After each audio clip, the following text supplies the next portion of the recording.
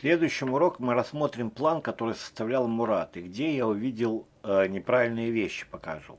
Итак, сейчас видео для вас важно будет прочитать вот эту статью «Обучение разработки. Как поднимать функции на лету в, в любых языках». Прочитайте статью, я пока... Про... Статья длинная, здесь много ссылок, и э, я и начал писать этот курс, потому что вижу, что может завести не туда, куда надо, а ведь надо правильно применять. Ребят, э, скажите, пожалуйста, скажите, пожалуйста, если мы э, пишем функцию в языке Python, знаем, что такое функция, знаем, э, что обозначают параметры, изучили if, else и так далее, и так далее. Потом мы э, подключаем другой язык.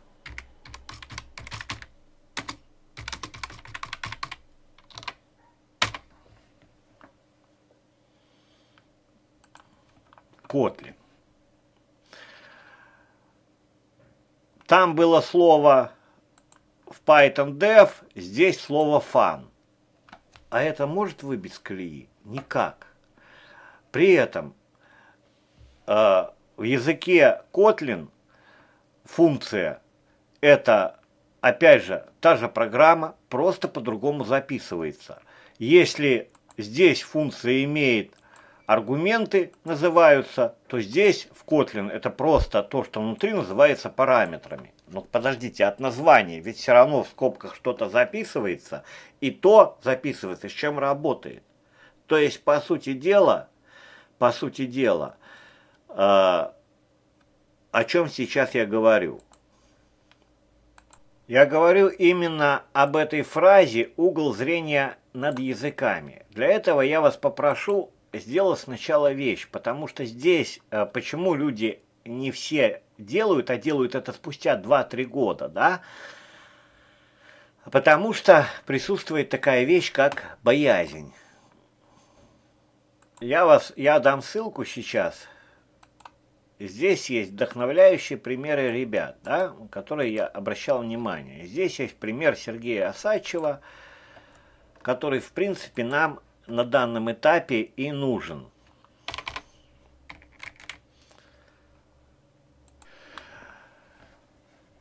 Это Сергей писал в 2018 году в группу.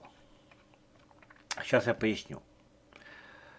Сразу, наверное, напишу, но вы почитайте, что я думаю сейчас – я думаю, если бы я не решился изучать одновременно два языка, я бы сильно ограничен в понимании, что такое программирование в целом. Дальше прочитаете. И э, смысл один. Теперь переключиться одно, с одного на другое, это практически то же самое, что писать на одном, на одном только по-разному.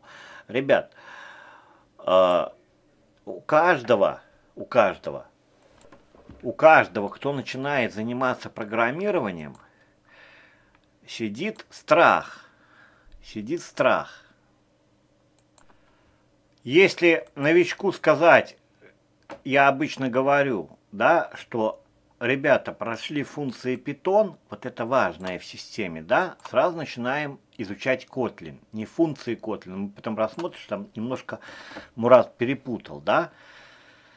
А, обращусь к этой статье, чтобы она вас не путала. Ребята, вот здесь, которую вы будете читать, а я ее сейчас должен добавить, прежде чем вы будете читать, ее важно очень прочитать с этим видео, чтобы понять,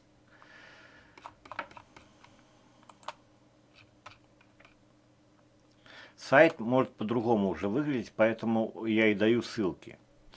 Обучение разработки, как понимать э, функции в любых языках на лету. Ребят, смотрите, многие эту статью воспринимают э, буквально. Я здесь писал, это на примере функций. Но то же самое можно делать и с типами данных, и с классами, и с чем угодно. Просто я здесь э, расписал, как работать с разными языками. Так вот, у человека обычно страх. Страх этот э, чего? Называется он страх переключения. Ну, я так называю. Переключение. Будете читать... Ой. будете читать статью Сергея, да, а, поймете, что именно этот страх присутствует, но он присутствует у всех. Как думает новичок? Ага, я сейчас вот питон оставлю, начну изучать Kotlin, я вообще забуду. Или я там питон э, сейчас оставлю, начну Django разбираться, я питон забуду. Это страх надуманный. Э, ребят, вот смотрите, э, страх этот возникает по одной причине, потому что вы не понимаете, что впереди. Когда вы не понимаете, что впереди и к чему надо идти, тогда этот страх есть. Когда вы, э, вот э, когда мы читали, Сергей, да, писал, когда начал этот процесс проходить, и стало потом все равно писать на Kotlin, на Python, легко переключаться, то есть э, делал проект, вернулся, пошел в другом языке работать, вернулся и продолжаешь с того места. Вот это нормальное состояние программиста. И к этому надо прийти сразу, ребята. Так вот, страх этот э, происходит от того, что мы не понимаем его природы. А природа его проста. Когда мы изучаем один язык программирования, Мурат, это важные другие ребята, мы заостряемся только на э, понимании этого языка. Да? Допустим, в Python функция def вот делаю так, так, так. Но на самом деле все немножко по-другому. Давайте наберем.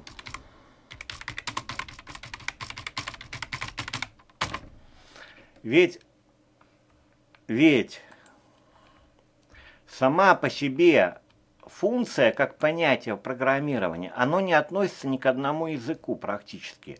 Это уже язык берет в себя функции, но само понятие существует отдельно. И именно, именно, когда, как я говорил, вот об этом уровне, что вот отсюда надо уже начинать сейчас. Составляй планы, иди вот к этому уровню, а отсюда копай начало свое, да?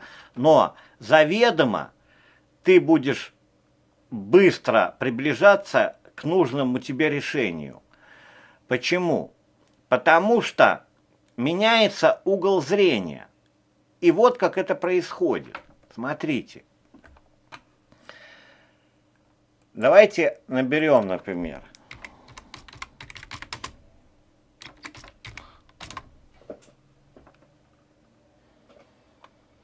Так. Возьмем Mozilla. Вот, допустим, когда я вот это прочитал, я уже понимаю, как на нем писать. И к этому я хочу привести Мурата. Теперь давайте э, посмотрим, прочитаем. Мы э, изучаем функции Python. Но в то же время, когда мы уже довольно хорошо изучили Python, переходим к функциям Kotlin и функциям JavaScript. Читаем. Функции ключевая концепция JavaScript, важнее языка первоклассная поддержка функций. Так, так, так, дальше. Дальше мы видим важное нам слово. Функция это объект. Мы вспоминаем Python. В Python все объект. Мы вспоминаем Kotlin. Kotlin все объект. Мы вспоминаем, видим JavaScript, все объект. Скажите, а что мы нового узнали? Что страшного? Но мы прочитали и понимаем, что это объект. Значит, это самостоятельная единица. Теперь, для нас важно природа функций, то, что я описывал в статье. Наберем. А, ну зачем набирать, если тут есть? Функции высшего порядка. Иными словами, это функции обратного вызова или функции, которые вызывают другие функции. Это есть Kotlin, есть, это есть Python, есть, это есть JavaScript, есть. Ребят, а какая к черту разница, как это записывается, если это обозначает одно и то же? В Python функции могут вызывать другие функции, в Kotlin могут, и э, в GC могут. Что вы тут будете учить другое? Скажите, что? Что здесь сложного? Здесь просто надо было выйти немножко выше на уровень. Вот сюда. Вы были, когда вы изучали только Python, вот здесь. А я вам говорю, ребят, посмотрите вы на функции, на функции.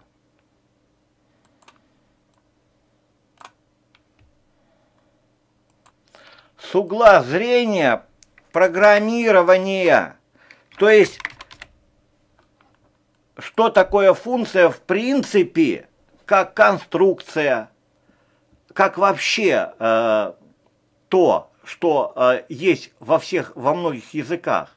Оказывается, что здесь, здесь, здесь объект, оказывается, здесь, здесь, здесь э, имеют функцию обратного вызова, но я говорил, что, помните, я говорил, функции Python надо от и до пройти. Скажите, когда мы будем проходить функции от и до Python, Мурат, слышите? Объявление вызова, параметров, то есть, грубо говоря, объявления, аргументов либо параметров. Дальше э, поехали вызову функции, то есть как вызывается. Все мы это в Python изучим. Просто в другом языке это будут те же понятия. Функция как-то надо объявить, но ведь надо. Дальше каким-то образом выбор, э, вызвать э, какие-то параметры вставить, да, э, понять, что она возвращает. Но ведь все это происходит во всех языках. Здесь, здесь, здесь. То есть общее у них, их надо объявить, их есть возможность вызвать, они могут все содержать параметры, параметры либо аргументы, да, и иметь тело. Скажите, ну, сложно? Сложно сесть вечер, зная э, основное о функциях, написать функцию на Python на Kotlin GC. А на самом деле, что начинает происходить? Ребята, начинает происходить главное. Ваш мозг, в данном случае мы на примере Мурата, начинает работать на все 500%. То есть, как у нас работает мозг? На отличиях. Горячо, холодно, э, тесно, э, широко там, значится, и разные другие понятия. И вот здесь, когда мы подключаем несколько языков, но при этом делаем упор сначала на один язык, в котором мы разбираем а, важные вещи, да, то есть э, объявление функции, э, что содержит все функция. Ведь э, сложного на самом деле здесь ничего нету. Это э, работы на один вечер, на один вечер. Работы на один вечер, не изучение языка, а понимание еще. Ну что, трудно написать э, ключевое слово, запомнить название функции. Понятно, что в скобках это называется аргументами. Э, вопрос в том, что я говорю сейчас о чем? О том, что когда мы подключаем второй язык, наконец-то мы начинаем понимать природу функций наконец-то для нас начинают вылазить такие понятия, как функции высшего порядка, а как иници... происходит инициализация, то есть, грубо говоря, как мы можем, когда мы будем, можем использовать функцию в одном языке, как в втором, ага, значит, там и там надо инициализировать.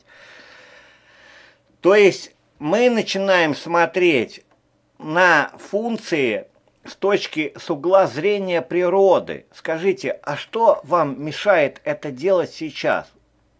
Можно, конечно, пойти другим путем. Например, я первые несколько лет работал только с функциями Python и вообще, а потом, когда столкнулся с GC, оказывается, узнал, бывает функции высшего порядка, а как, а что. А ведь три года уже прошли. И когда я начал смотреть вот с этого угла зрения, Оказалось, что запоминать-то ничего не надо, все просто выстраивается в обычную стройную логику. И самое интересное, мы это используем каждый день. Мы готовим чай, мы делаем, мы работаем. Функция это действие. Да? Но функция здесь приведена просто как пример. То же самое можно делать с типами данных. В Python строка в Java и в GC, то есть в Java, допустим, в Kotlin это будет массив строк. Да какая разница? И там, и там природа одна. Отобразить символы в определенном порядке. Все. Мурат, вы меня понимаете? Пока все.